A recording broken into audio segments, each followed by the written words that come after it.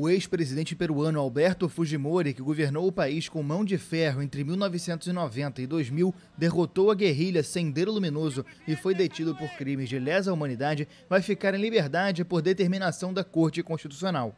Descendente de japoneses com uma trajetória bem-sucedida como professor universitário, foi o primeiro filho de imigrantes a conquistar a presidência peruana, ao superar nas urnas o escritor Mário Vargas Llosa.